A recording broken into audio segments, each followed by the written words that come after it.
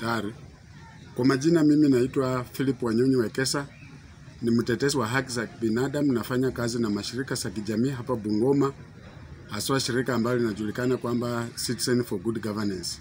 Sisi kama mashirika ya jamii tunatetea haki ya kila mtu, haswa haki ya wakulima, na Bungoma tuko na kiwanda cha sukari ambacho kinaitwa Nzoya, na wakulima wa Nzoya wanaendelea kuumia kuendelea kuwa na umaskini e, wanashindwa kulipia majukumu yao ya kifedha kwa sababu kiwanda hicho kimeshindwa kulipa wakulima wale ambao wanapeleka miwa katika hicho kiwanda.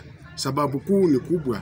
Kuna ile ufisadi ambayo inaendelea katika kiwanda hicho, kuna ile ubadilifu wa matumizi za pesa za kiwanda na pesa za wafanyikazi, na kila mara e, serikali imekuja inasema wanaenda ku up ili walipe wakulima.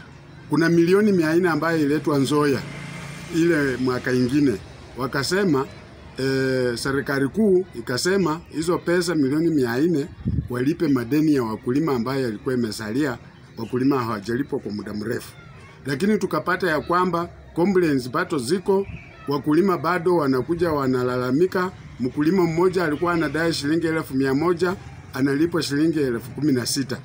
Sasa inasemekana ya kwamba pesa zingine ambazo zililetwa ili zilipe wakulima zilitumika kwa njia isiyofaa na kwa sababu ya ufisadi katika kiwanja hicho.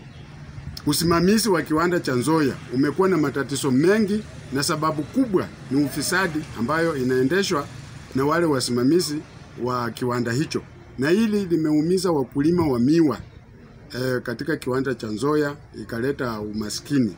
Kwa sasa hivi tunajua ya kwamba e, wakulima tumekuwa na milioni mia mbili kumi na saba ambazo zimepotea, na hizo pesa ilikuwa wamepewa wanakandarasi ili e, walete zile services ambazo inatakana ifanywe katika kiwanda cha Nzoya, but tumepata ya kwamba pesa hizo milioni mia mbili kumi na saba pia zimepotea, na kulingana na uchunguzi wetu ambao sisi tumefanya hapa mashinani, tunapata ya kwamba pesa nyingi ambayo inakuwa kwa Nzoya ya wakulima inatumika kwa njia isiyofaa, haswa wengine inatumika kwa mambo ya kisiasa.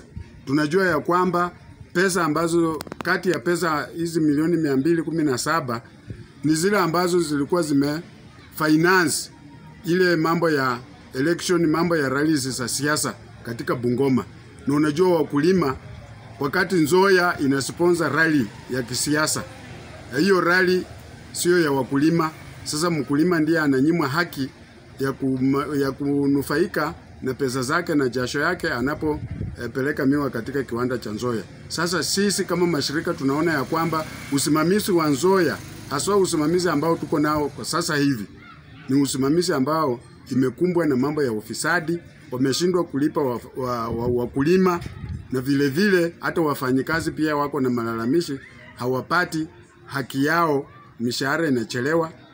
Na zile supplies ambazo zinaletwa, zile makampuni ambazo wanaleta services katika kiwanda cha Nzoya ni makampuni ambazo zinamilikiwa na wanasiasa ambao wako hapa Bungoma, zingine zinamilikiwa na wale wafanyikazi wakuu katika kiwanda cha Nzoya, na haswa sasa hiyo inamaanisha ya kwamba conflict of interest, wale ambao wana supply hewa e, kiwanda hakipati ile supply ambayo ime, imeletwa, lakini pesa zimetolewa kwa accounts kwenda kulipa yule contractor ama mwanakandarasi ambaye hajaleta kitu chochote katika kiwanda.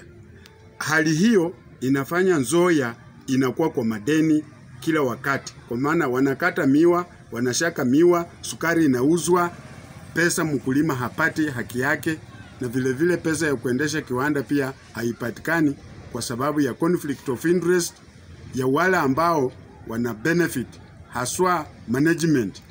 Sisi kama mashirika tunataka kuomba ya kwamba serikali kuu iangalie usimamizi wa Nzoya. Hatutaki kiwanda cha Nzoya kitumike kisiasa ama kitumike kama sehemu ambayo ya kutolea pesa na kuibia wakulima pesa.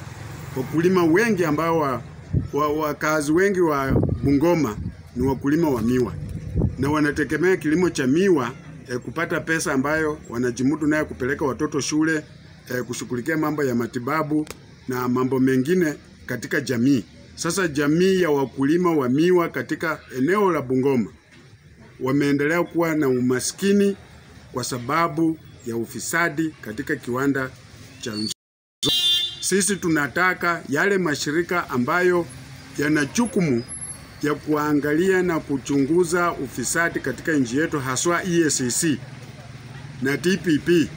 Haya mashirika tunataka wale ambao wanahusika na ubadhirifu wa pesa na ufisadi katika kiwanda cha Nzoia, tunataka washikwe na zile pesa ambazo wao wamechukua ya wakulima ikuwe recovered ili wakulima wa miwa walipwe pesa zao. Mkulima hataendelea kufanya kazi na jasho lake, apeleke miwa na pesa yake inaibiwa na wale ambao wanatembea eh, kama wasimamizi wa kiwanda hicho. Ili